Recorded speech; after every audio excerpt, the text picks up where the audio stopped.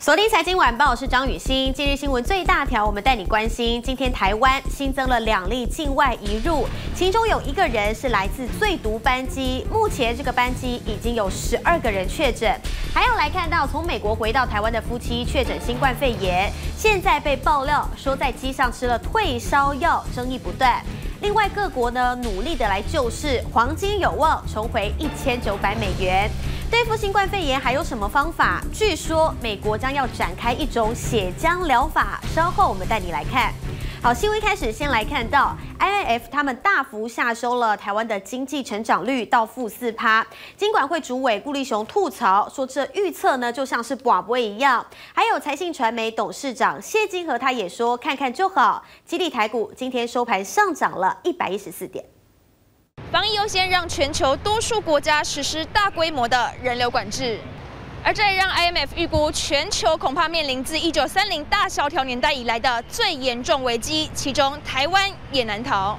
IMF 敲响警钟，大胆预估全球 GDP 从百分之三点三下收到负百分之三，就连台湾恐怕也将萎缩到负百分之四，震惊市场。工商团体说太悲观，财信传媒董事长谢金河也说看看就好，不用太认真。现在任何的经济预测。就好像去拔杯一样的，应该要进一步思考到我们的疫情防治的蛮成功的。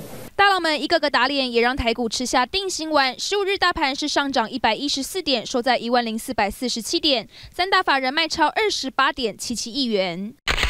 其中，台积电带头强攻，收盘上涨二点五元，收在两百八十七点五元。因为市场传来好消息，台湾稳坐二零一九年半导体新设备的最大市场，销售额增加百分之六十八，来到一百七十一点二亿美元，大幅领先中国大陆和南韩，稳居龙头宝座。降低对这个外需市场的依赖，好，在拉抬内需的部分呢，哈，过于悲观的估计，我预计在几个月之后呢，啊，会有这个呃认错上修。产业市场传利多，而台湾暌违三十六天再度零确诊，也激励观光类股群起反弹。金华雄狮六角、山富五福都攻上涨停价位，并不是金融危机，而是一个类似天灾，哈。